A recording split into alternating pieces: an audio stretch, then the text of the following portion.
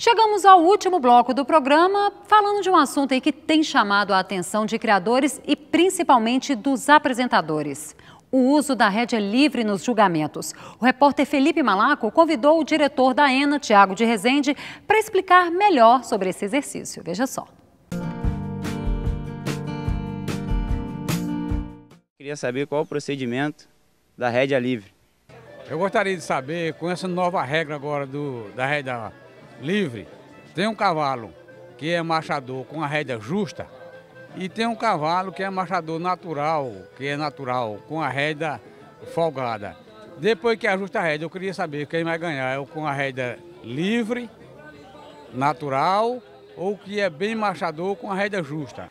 Para esclarecer estas e outras dúvidas, nós estamos hoje no CTE Alain Vilaça, onde vamos mostrar a forma correta de execução desse exercício, a rédea livre.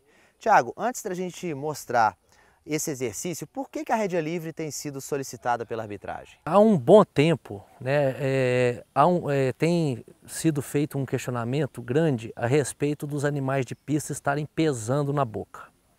Então a nossa atitude foi, primeiramente, é, exigir que os animais façam uma volta na, em rédea livre no final do campeonato de marcha, exatamente para é, ensinar os cavalos a fazer essa, esse exercício. Né? Os animais eles têm que aprender a andar sem estarem excessivamente apoiados na boca.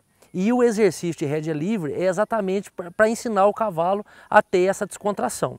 Vamos mostrar a forma correta então, Thiago? É, na forma de análise, né, é, é, a rédea livre ela já é uma, uma figura do, da equitação que é exigida na, na prova funcional uhum. do, do manga larga marchador, né? E o método de análise da rédea livre, se o animal está ou não fazendo a rédea livre, é a mesma no concurso de marcha. Entendi. E ela é muito simples, né? A rédea livre se caracteriza pela falta né, de contato da mão do cavaleiro através da rédea com a boca do cavalo. E a maneira mais simples da gente avaliar isso é através da liberdade das biqueiras, que é essa parte da rédea.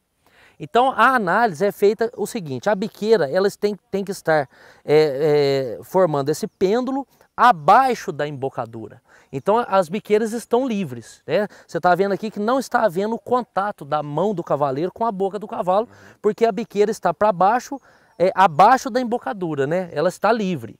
Não importando se o cavaleiro segura a rédea aqui, se ele solta a rédea no pescoço do cavalo, né? ou se ele segura aqui, o que a gente está analisando é exatamente a posição das biqueiras e essa falta de contato aqui da mão do cavaleiro com a boca do animal. Então nós vamos pedir para o Alan aqui, ele vai fazer o exercício de rédea livre, uhum. né? E nós vamos ver aqui a maneira correta. Então o Alan pode segurar a rédea mais lá na frente, ele pode segurar mais aqui atrás, pode soltar a rédea na, na, no pescoço do animal se ele quiser, isso não tem o menor problema. O efeito da rédea a gente está vendo lá, igual eu disse mais uma vez, né, na biqueira da rédea. Não tem contato com a boca do cavaleiro, não importa se, é, em que altura que está a mão do cavaleiro ou se a rédea está solta no pescoço. O importante é a ausência de contato da, do cavaleiro com a boca do cavalo.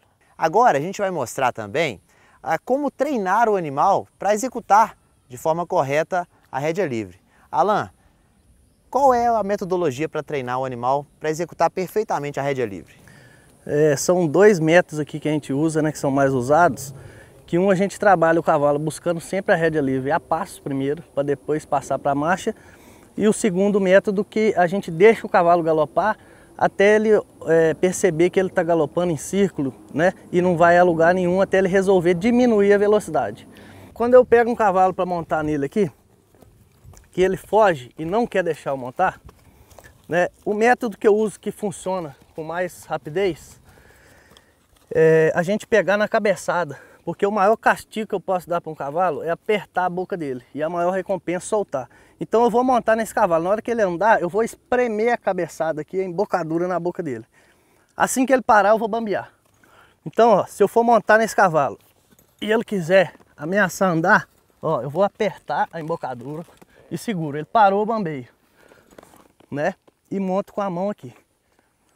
Sempre que eu montar, ele sempre tem que esperar eu botar o pé no estribo, né? Ajeitar e sempre tá esperando o meu comando para sair. Nunca sair por conta dele. Vou pedir a partida nele no passo, né?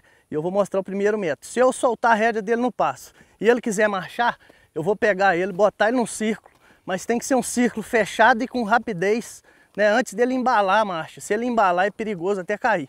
Solta a rédea novamente, quis partir, eu pego ele de novo no círculo e solta a rédea. O próximo passo agora, quando o cavalo está a passo tranquilo, é a gente passar para a marcha, né? Então eu vou começar a botar ele na marcha, sempre em círculo, e se ele quiser acelerar muito a marcha, eu vou fechar um pouco o círculo aqui, ó. Fechar um pouco para ele diminuir a velocidade e vou abrir o círculo de novo. Sempre pegando na rédea de dentro, deixando a rédea de fora um pouco mais bamba, né? Fecha um pouco o círculo. Ele acalmou, eu abro o círculo de novo, ó. Aumenta o círculo. Até ele acalmando. Ó, ele quis acelerar sem eu pedir, volta ele pro círculo e libero ele de novo. O cavalo eu que tenho que dar o comando para ele acelerar, não ele me puxar, né? Se eu estiver no meio do concurso de marcha, como eu não vou poder fazer o círculo para corrigir, eu vou tentar buscar um pouco de descontração dele, abrindo a rédea, né? Para ele relaxar um pouquinho e abaixar um pouco o seu conjunto de frente, que o cavalo relaxado é mais fácil da gente conseguir. Então eu vou descontrair ele um pouco e depois soltar a rédea. Isso a tendência do cavalo é responder também um pouco, né? com a descontração da boca, do maxilar, ele vai relaxar e vai fazer um pouco mais fácil também.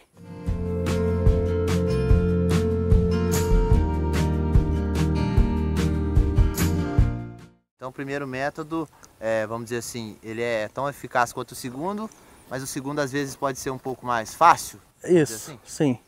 Para um cavaleiro que tem habilidade e, e tem um bom assento no galope, eu acho que ele é mais rápido. Depende muito da característica de cada animal, né? Alan? E do cavaleiro também. É, eu vou sair na marcha aqui e vou bambear a rédea, né? Pra gente ver como que ele vai comportar, né? Vou soltar a rédea, ó. Então vocês estão vendo que ele só quer partir no galope, ó. ó. Então eu vou botar ele no círculo, certo? E vou deixar ele galopar no círculo. E vou bambeando a rédea, vou pegando e soltando a rédea. Ó como que ele quer correr, ó. Ó. Então eu vou botar ele sempre no círculo, sempre, pegando mais um pouco na rédea de dentro, pegando e bambeando, ó, pegando e bambeando, pegando e bambeando. Já vou abandonando um pouco a rédea de fora e vou deixar esse cavalo galopar. O importante desse trabalho aqui é você ter um bom assento no galope, porque se você tiver a cintura travada e quicar na sela, a tendência é o cavalo ficar mais nervoso. Então a gente tem que acompanhar a cadência do galope com a cintura, para você não quicar na sela e para o cavalo ir acalmando. Já está querendo voltar para a marcha. Ó. Agora eu vou deixar ele entrar na marcha quando ele quiser. As pernas do cavaleiro, como é que elas devem ir? Só mantém encostada no cavalo. Eu não gosto de, quando eu estou fazendo esse trabalho, eu não uso muito a perna atrasada, a perna para encurvar, porque senão o cavalo pode ficar muito nervoso. Então eu só mantenho ela relaxada, a perna relaxada. Se eu liberar aqui para ele ir na pista toda, se ele ameaçar galopar ou acelerar muito a velocidade, eu volto ele pro círculo, ó. Volto ele pro círculo. Volto ele, faço mais um, dois círculos, o tanto que precisar e vou na pista toda de novo. Eu não quero precisar pegar na boca dele para parar ele, para ele diminuir. Eu quero que ele entenda que ele tem que andar devagar e no círculo ele não consegue manter a velocidade. Né? Então eu sempre termino o serviço de rédea livre. Até o dia que eu começar o trabalho e ele já sair de rédea livre no passe, na marcha, sem eu precisar fazer nada com ele para corrigir.